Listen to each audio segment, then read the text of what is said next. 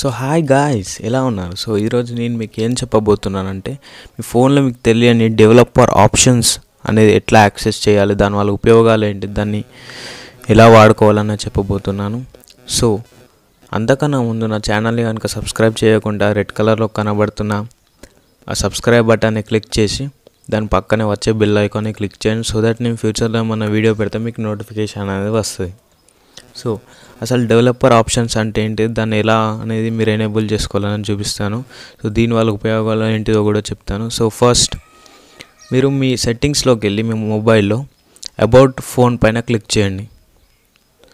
So about phone పైన click చేసిన తర్వాత మీరు ఏం చేస్తారంటే మీ బిల్డ్ నెంబర్ ఉంటుంది చూడండి దాన్ని సెవెన్ టైమ్స్ క్లిక్ చేయండి. సెవెన్ టైమ్స్ క్లిక్ చేస్తే మీరు యూఆర్ నవ్ ఏ డెవలపర్ అని వస్తుంది. సో నాకు అలా రా- రావటం లేదు ఎందుకంటే నేను ఆల్రెడీ డెవలపర్ ఆప్షన్స్ అనేది ఎనేబుల్ చేసుకున్నాను. సో అక్కడ డెవలపర్ ఆప్షన్స్ అనేది వచ్చింది. సో ఇక్కడ ఫస్ట్ డెవలపర్ ఆప్షన్స్ని ఎనేబుల్ చేసుకున్న తర్వాత మీకు కింద అనేటివి అన్నీ వస్తాయి. సో దాన్ని ఎనేబుల్ చేస్తున్నాను ఇప్పుడు. సో ఎనేబుల్ చేసిన తర్వాత మీకు కిందికి వస్తే ఫస్ట్ ఆప్షన్ అనేది మీకు చెప్తాను. So first OEM unlocking so OEM unlocking అంటే ఏం లేదు.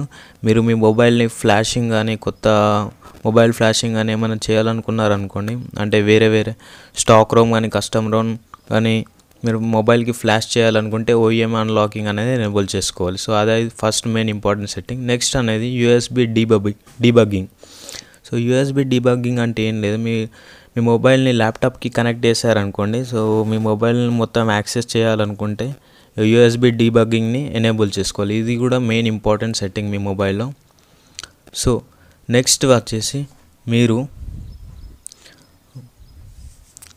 కిందికి వస్తే ఇక్కడ లాస్ట్కి కిందికి అనేది వస్తే మీకు ఇంకొకటి చూసి యూఎస్బి కాన్ఫిగరేషన్ సో ఇదేంటి అంటే మీరు మీరు మీ మొబైల్ని ల్యాప్టాప్కి కనెక్ట్ చేసి మీరు మీ మొబైల్ ఏమేమి యాక్సెస్ చేయాలనుకున్న ఏమేమి యాక్సెస్ చేయాలనుకుంటున్నారో దాన్ని మీరు ఎనేబుల్ చేసుకోవచ్చు. ఛార్జా లేకపోతే మీడియా ట్రాన్స్ఫరా లేకపోతే డాటా ట్రాన్స్ఫరా నెట్ అనేది.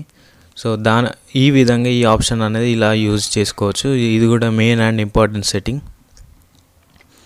So next కిందికి వస్తే పాయింట్ ఆర్ లొకేషన్. సో దీనివల్ల ఏంటి అంటే మీరు ఎక్కడెక్కడ టచ్ చేస్తున్నారో దాని దానిపైన మీద పైన మీకు రీడింగ్స్ అనేటివి వస్తాయి. సో మీరు ఎక్కడెక్కడ టచ్ చేస్తున్నారో దాని రీడింగ్ ఎంత దాని స్కేల్ ఎంత అనేది మీకు ఏర్పడుతుంది పైన. ఇది కూడా మనకు అవసరమైన సెట్టింగే సో నెక్స్ట్ వచ్చేది లేఅవుట్ బౌండ్స్ సో దీన్ని ఎనేబుల్ చేసుకున్నారనుకోండి మీరు ఎంత సైజులో మీ అంటే మీరు మొబైల్ ఏమేమి ఉన్నా అన్నది బాక్స్ టైప్లో అనేది వస్తుంది. సో అది కూడా మనకు ఒక మంచి సెట్టింగే సో నెక్స్ట్ వచ్చేది విండోస్ యానిమేషన్ స్కేల్ సో మీరు బ్యాక్ ఓపెన్ చేస్తారు యాప్ ఓపెన్ చేస్తారు దాన్ని ఎంత స్పీడ్గా ఓపెన్ చేస్తారు five x one x two x అనేది దీనివల్ల మీరు దీన్ని కూడా ఎనేబుల్ చేసుకోవచ్చు మీరు ఎంత స్పీడ్ అంటే అంత స్పీడ్ పెట్టుకోవచ్చు.